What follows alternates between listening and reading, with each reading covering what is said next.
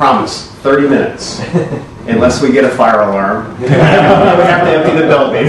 Okay, so we'll try and do it quickly. Uh, the first part of the presentation is just a couple of slides on kind of our current business.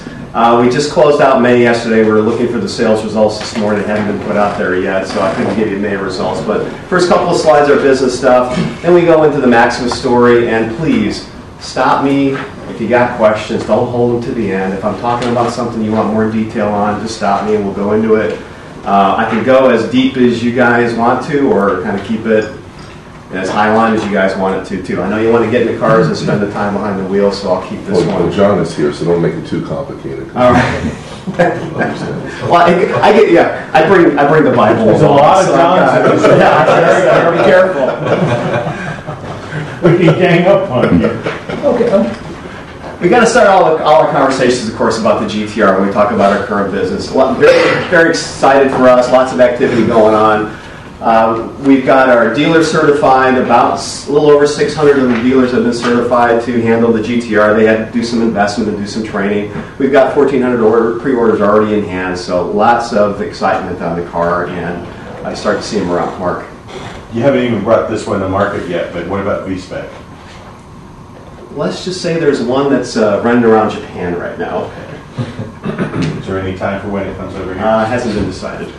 Hasn't been decided. I'm glad you know about it. Q, I don't know. Um, Q, we, we've announced that uh, we're coming, and I think that we're going to make the have the car in Los Angeles in November. So uh, this isn't the Cube. That's the current generation. So the, the next generation will be the one we show in Los Angeles this fall. So another car in the in the small small car segment. Again, we're excited about this one. This car has got lots of personality. It's got a really strong following in a lot of places. Never been to the United States before. So uh, again, we think that's um, going to help us with our portfolio, especially with gas prices. Will you bring in turbo diesel variants of that, Turbo diesel. or diesel? Uh, we're studying diesels in a lot of things. Not that one yet. Okay. Not that one yet. EV. You've heard Mr. Gellin talk a lot about EV recently. There's been lots of articles and lots of activity uh, on EV.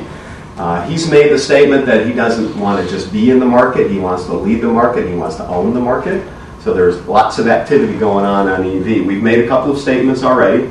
Uh, one that we're coming in 2010, commercial first, which is used as more fleet application. That's really more from an infrastructure standpoint than, than demand. And then by 2012, actually have the car out there in mass market, so available for retail sale across the country. So lots of work going on there. He's um, he's putting lots of pressure, lots of manpower, lots of engineering resources, lots of money against this project. So. Uh, we've already announced our, our battery partner. We've already announced that we're going into manufacturing and production of the battery pack. So things are moving along very, very quickly. This is the new arms race. This is the new arms race. And this is the project where uh, the consumer actually leases the battery. We had, that's one of the business models we're exploring. Yeah. And if you think about new technology, if you think about your cell phone, I mean, you've been trained now to do two years, right? Either they penalize you if you want to get out early or you want to replace the technology in your phone. Similar. So you own the car, but you lease the battery. Sort That's of. one of the things we're exploring. Okay. Yeah, one of the things we're exploring. Absolutely.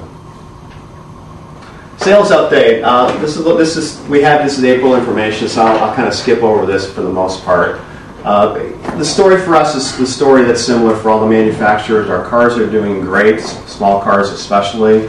Our full-size SUVs, full, full-size trucks, struggling a little bit. Frame-based Pathfinder, those kind of vehicles struggling some. The crossovers are on fire. Murano, Rogue. So that's kind of kind of our story. Very similar.